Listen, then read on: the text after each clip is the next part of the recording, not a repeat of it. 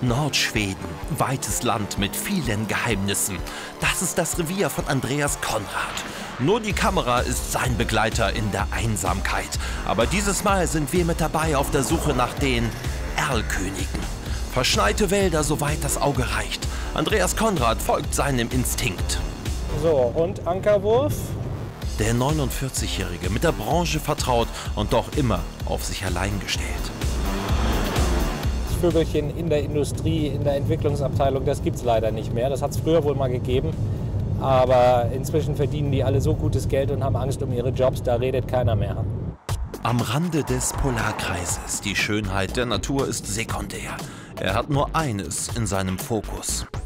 Warte mal, was kommt von vorne? Das könnte BMW 7er sein. Nee, ist aber nicht. Das ist der, der Chevrolet Cruze. Der cruist hier die ganze Zeit durch Lappland. Und den hat er natürlich schon längst im Kasten. Massenhaft Autos auf dem See, aber im Moment noch offensichtlich alles Serienfahrzeuge. Na, okay. Und weiter geht's. Auf die Hauptstraße. Das ist ein Autotransporter, der hat neue Ware gebracht. Da kriegen wir vielleicht was zu tun hier. Und manchmal schneller, als man denkt. Ja, mal gleich gucken. Da kommt der 7er BMW. Und der haut jetzt ab, da fahren wir mal hinterher. Das Foto von hinten ist schnell gemacht, aber die Frontpartie ist das Entscheidende. Jetzt versuchen wir einen Abstand rauszufahren. Und dann halten wir an und fotografieren ihn von vorne. Tempo 90 ist erlaubt, aber Konrad hat das Bild im Kopf und nicht das Speedlimit. Ich glaube, hier gibt es keins. So, und Ankerwurf? Das heißt für ihn ab in den Tiefschnee und ganz schnell Position beziehen. Na, waren wir zu schnell? Oder der BMW hat keine Lust. Kann doch nicht sein hier. Auf eine unfreiwillige Fotosession. Der Siebener kommt, er ist zwar getarnt, aber Stück für Stück gibt er mehr Preis von seiner wahren Identität. Okay.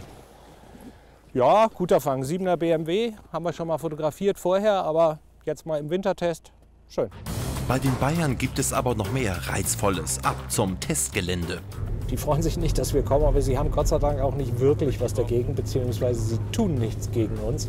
Und das ist ja auch schon mal viel wert. Da gibt es auch andere Hersteller. Das ist der neue M2, der ist auch noch getarnt. Aber nicht jeder posiert so bereitwillig vor seiner Kamera.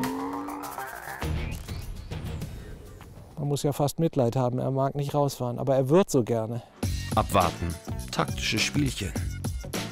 Jetzt dreht der tatsächlich um, wegen so einer blöden Kiste. Das kann nicht wahr sein. Wegen so einem Auto machen die so ein Halligalli. Aber der Mann aus dem Landkreis Lüchow-Dannenberg ist ein geduldiger Typ. BMW 2er Grand Tourer abgehakt. Na, geht doch. Nicht immer läuft es so friedlich ab. Ich habe gestern eine große Auseinandersetzung mit einem kleinen Ferrari-Testfahrer. Und der war richtig sauer, obwohl das Auto, das er dabei hatte, gar nicht so spektakulär war. Aber der wollte gleich Bilder löschen und meine Kamera in Schnee werfen und all so Sachen ein bisschen überzogen, ehrlich gesagt. 12 Uhr mittags in Ajeplock. Der Testbetrieb ruht. Andreas Konrad nicht. Die Hotels und Restaurants abklappern. Immer auf der Suche nach dem Bild. Sieh an. Die sind gerade dabei, den abzudecken. Das ist die neue E-Klasse von Mercedes. So, da müssen wir wohl lange warten, bis wir den haben. Die machen jetzt erstmal Mittag. Weiter geht's. Und wie hat eigentlich alles angefangen? Ich habe ursprünglich Fotolaborant gelernt und in diesem Labor war damals der König der Erlkönigjäger Kunde und habe mich gefragt, wen interessiert das und habe ihn dann irgendwann angesprochen. Das war Hans Lehmann und dann habe ich gelegentlich was für ihn gemacht und mit ihm zusammen gemacht. Und als ich dann mit der Fotografenlehre fertig war, habe ich mir gedacht, ich versuche es einfach mal, ob das auch bei mir funktioniert. Und das läuft jetzt seit 25 Jahren.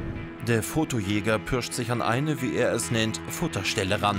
Und auch die Koreaner schätzen die vermeintliche Einsamkeit auf den schwedischen Seen. Das ist der neue Kia Optima. Allerdings noch heftig getarnt. Bis minus 30 Grad kann es hier kalt werden. Perfekte Bedingungen für die Automobilindustrie, aber nicht immer für Fotografen. Da kommt irgendwas. Ich habe keine Ahnung, was das ist. Oh Leute, das kann nicht wahr sein. Weg mit dem Nebel. Sein Job unberechenbar. Aber genau das ist die Herausforderung. Es ist immer irgendwas. Du sitzt gerade im Auto, angeschnallt, Jacke an, Musik an, guckst aus dem Fenster, geht das alles wieder von vorne los. Das stimmt. Man kann nie wirklich abschalten. Doch, irgendwann ist es dunkel, dann ist Schluss. Das neue SUV von Jaguar durchkreuzt aber den Plan vom Feierabend. Konrad versucht dran zu bleiben, dem Schneetreiben und den Straßenverhältnissen zum Trotz. Aber der edlen Raubkatze auf zwei Achsen gelingt die Flucht. Enttäuschung. Hier kamen jetzt auch verschiedene unglückliche Dinge zusammen. Ähm, der ist ja nun wirklich sehr schnell gefahren, auch durch die Stadt und wir hatten keine Chance zu überholen. Wir haben nichts gesehen vor lauter Schnee und Schneestaub, den er aufgewirbelt hat. Da war keine Chance dran vorbeizukommen. Und selbst wenn, wir hätten ihn blitzen müssen wegen der Dunkelheit und wir hätten vor allem Schnee im Bild gehabt und kaum Auto. Schnee, gutes Stichwort. Der nächste Tag, das Wetter ist noch schlechter. Die Flocken fliegen, heftige Winde, kaum Sicht. Statt guter Motive gibt es einen Cappuccino an der Tanke und eine Erkenntnis gratis dazu. Fährt wenig auf dem Eis und wir sehen wenig auf dem Eis. Also es, und es ist mühsam zu fahren und vielleicht auch nicht ganz ungefährlich. Jetzt haben wir es halt abgebrochen. Dabei hat Andreas Konrad alles versucht, sogar mit dem Snowmobil. Aber das Wetter lässt an diesem Tag nur eines zu. Büroarbeit. Die Ausbeute von zwei Tagen wird gesichtet. Und auch wenn es manchmal beschwerlich ist, Andreas Konrad liebt seinen Job. Was mich antreibt, ist eigentlich das Jagdfieber und ähm, so die Sensation zu liefern zu können. Es ist äh, gar nicht so sehr die Leidenschaft fürs Auto, sondern eher für die Jagd. Eine Leidenschaft, von der er gut leben kann. Aber die Zeit, in der man damit reich werden konnte, ist vorbei. Andreas Konrad macht trotzdem weiter. Der Erlkönigjäger. Diesmal wurde er enttarnt.